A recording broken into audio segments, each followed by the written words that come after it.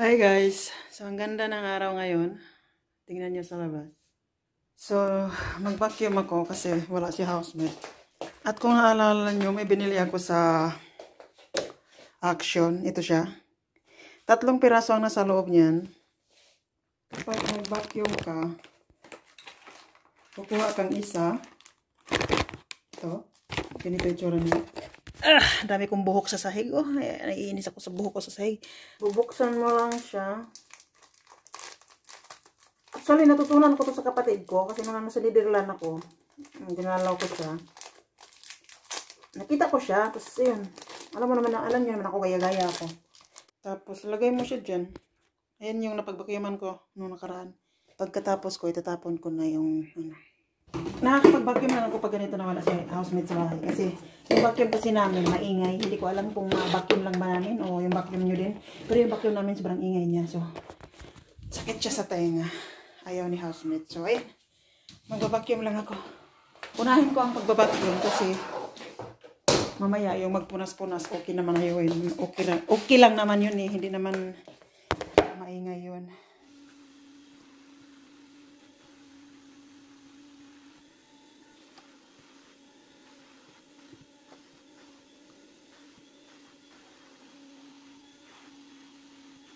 Tapos na ako mag-vacuum, no? Wala ne. Kausap ko yung camera ko ne. So, ganito yung, ano, yung binili kong Christmas light doon sa Action. Ganyan siya, bilog, and then, ayan, mahaba siya. Ano siya, um, wire. Ayan, ano siya, nayuyupi. Ganyan, nayuyupi siya. Ayan, no. Chup. Ganyan. Basta wire to siya, wire. Tapos, sampung paikot yan siya. Ang itsura niyan is, pag nilagay mo, itong bilog na to, ito, ito, is ganyan siya. Kunwari, ito yung ulo ng Christmas tree. Ayan.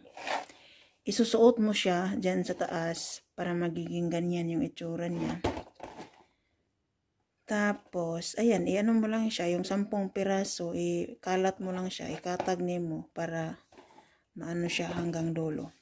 Sinubukan ko lang siya kung umiilaw ba siya lahat yung ilaw kasi para maibalik natin siya kapag hindi siya hindi um kapag mayroong hindi umilaw ayan. Umilaw naman siya lahat. So no need na ibalik. Ah! Na ano pala siya? Nagaganito siya. Akala ko wala siyang ano yung hindi nagaganito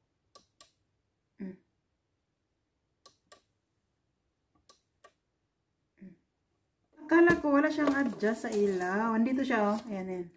Maliit, ayan, ayan. Walang kung kita nyo ba? Ayan yung bilog. So, dahil nga, nagpatugtog ako ng malakas na malakas, yung tipong nabingi yung kapitbahay namin. So, ayan, gimute ko na lang kasi makapiright ako ni Lolo YouTube.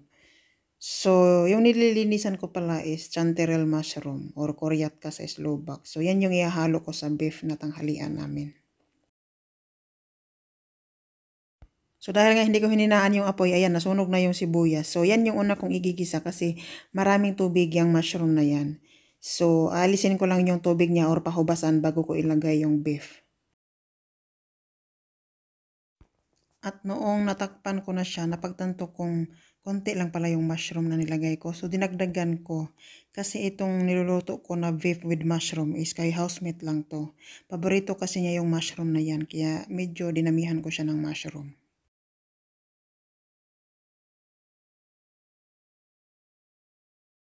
At habang hinihintay ko yung mushroom ko na mawala ng tubig, yan naghiwa ako ng carrots, sibuyas at saka yung kamatis. Yan naman ang idadagdag ko sa ulam namin ngayong tanghalian. I mean, ako lang kakain yan kasi hindi naman kumakain si housemate niyan.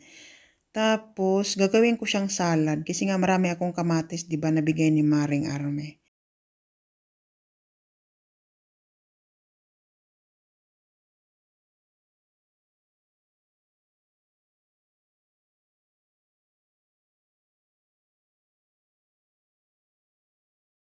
So, lalagyan ko siya niyan, yung sabaw ng bagoong, or ewan ko ano klaseng bagoong yan. Basta bagoong yan, nabili ko sa Vietnamese shop.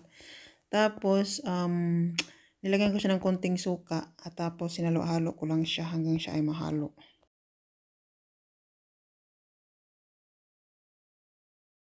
Ayan na yung salad ko. Tikman nga natin kung masarap. Kunti lang yung suka nilagay ko kasi matay na tayo sa sobrang acidic nito. Mm. Sarap ng kamatis. Mm. Pag mainit na yung sabaw ko, kakain na ako. Hindi ko nahintayin sa housemate kasi mamaya pa yun. Eh, araw na medya na. Mamatay na ako sa gutom. Ininit ko yung sabaw, tapos kakain na ako. Ang ulam kasi niya is yung kuryatka o chantilly mushroom at saka yung beef. Ang akin naman iba. Ito, tsaka yung sinigang na tira. So ayan guys, galing kami sa labas. Ah, kumuha ako ng sulat. Pakita ko sa inyo mamaya pag nakarating na kami. Ito yung school dito ng mga bata oh. Tapos ito ginagawa. Malapit na to sa bahay namin. Sana sisipagin na akong mag-exercise, no? Lumapit na talaga yung ano, yung sports area sa amin. Kapag ako talaga hindi pa sinipag magtakbo-takbo dyan, iwan ko na lang. Maganda yung panahon ngayon. Doon pala sa unahan, sa may Saratob. Oh, maraming pulis doon kasi may binaril daw kagabi. Patay. Ayun, maraming pulis. Paikot-ikot kasi hindi ka dire-diretso makapunta sa ano, sa posta. Ikot ka pa sa kabilang side. Kasi nandito sa kabilang side eh, sa kabilang harap. So yung housemate ko pa na ibagot-bot. Ah. Ayun yung ano namin, ulit siya. Alam niyo ba yung bahay namin? Tatlong tumbling lang barangay na. Ormetska Orad sa Slovak. Kaya minsan, pag nagmurmuring si housemate, or pag masama yung loob niya sa akin, sinasabihan ko siya na doon ka sa barangay magreklamo. Huwag dito sa bahay. so, ito na yung kinuha ko doon. Dapat talaga, si housemate ang kukuha nito. Kaso hindi man niya makuha kasi yung pinangalan nila doon sa sulat is yung luma kong apelyido. Kailangan ako ang kumuha kasi yung blue na pinirmahan ko dati na allowed si housemate kumuha ng sulat ko. Tapos ako naman allowed nang kumuha sa sulat na para sa kanya. Yung apelido ko kasi doon is married na. Tapos ito nga is nung pagkadalaga ko pa. Hindi ko alam bakit hindi inulit ng insurance company.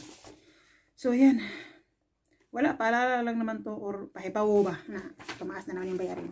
Dati ang health insurance ko is 84 something, 84 euro and point, nakalimutan ko na yung point centavo. Tapos next year is magiging ano na siya, 91.28 start sa January. 91.28. Kaya na lang mag-convert kung magkano yan sa piso. Taghirap mga best. Kaya ito yung lulutuin kong tanghalian. Ayan. Hot dog. Lalagyan ng kamote, talong na binigay ni Maring Army at saka Yoko. Sabi ko kay housemate, bigyan niya ako ng space sa pro, sa refrigerator kasi para ma-frozen ko tong kamatis ko.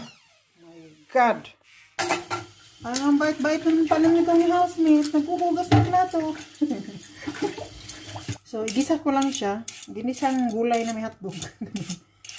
so, Naghihirap dito na area, bes. Akala nyo kayo lang sa Pilipinas naghihirap, bes. Dito rin mga bes. So, after naming mananghalian, alis kami. Swimming si Osmond sa grass job. Tapos, pagkatapos mag-swimming, pupunta siya sa anak niya. Ako, magpapaiwan lang ako sa mall. Kasi hindi ko man din, pag nandoon na kasi siya sa mga anak niya. I mean, sa anak niyang babae. Maano lang kasi ako doon, ma-OP lang ako doon kay wala man akong kausap. Alam ba yung suot kong damit? Galing kay ano to? Galing kay Maring Andrea. Hmm. Day! Suot ko na yung damit mo, Day. Kasi pag nangangapit bahay ako doon, nung summer, init na init ako mga besh. Nangihiram ako sa kanya ng damit. Hindi ko na sinauli. Dagdag lang din. Hindi rin naman na, na siya suotin to. Hindi ko na sauli to, Day. Yung sinilas niya, dito din sa bahay. Alam niyo, malipat na talaga tong bahay ni Andrea dito eh.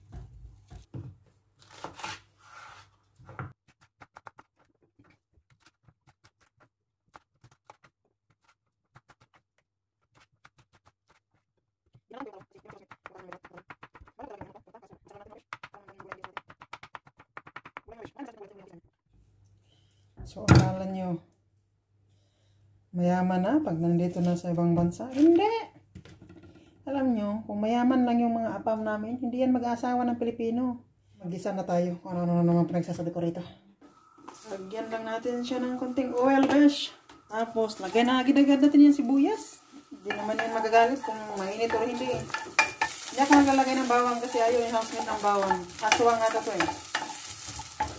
Ilagay na natin yung hot dog, hot dog, hot dog yun. Gisa-gisa. Sana bang hantod maluto siya.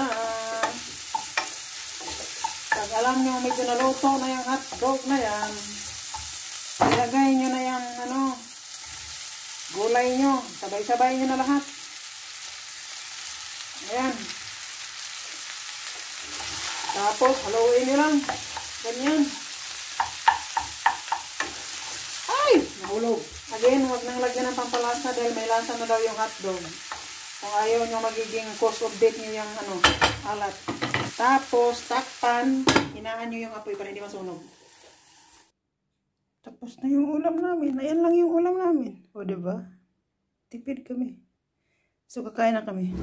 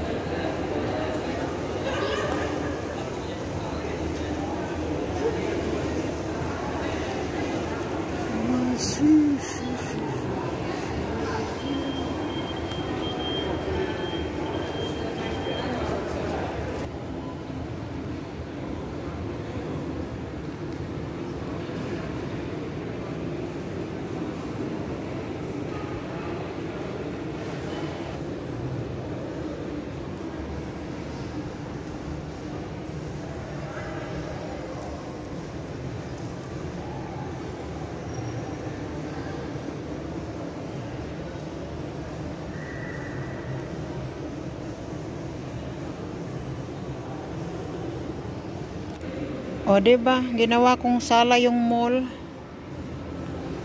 Andito ako sa may reserve. May upuan kasi dito. Ito yung ganitong upuan. Maganda tong upuan na to. Tapos doon sa harapan, si Zara. Doon sa unahan. Yung chandelier na to. oh. Maganda yan. Ayan, sa baba. Ayan, sa baba. Dito ako tumambay kasi sobrang sakit ng ulo ko. Tapos pagbaba mo dito, kapag tatawag si housemate, kapag andito na siya, malapit lang. So, pagbaba ko dito sa may reserve, pa-out na siya. So, mabilis siya. Kaya dito ako tumambay sa area na to. Sobrang sakit kasi ng ulo ko. Ito lang. Itong side na to lang. Kalahati lang. Yung ugat ko dito parang hinihila. Tapos yung mata ko parang ah, gusto ko na lang siya nakapikit. Tapos pag nagsasalita ako, ang sakit ng mga ugat ko sa liig. Tapos nasusuka ako. Nilalamig yung kamay at paa ko sa sobrang sakit ng ulo ko. Ganon, na, ganon ang nararamdaman ko pag, kapag inaatake ako ng migraine mga besh. Yung dalawang yun, Pilipino yun eh.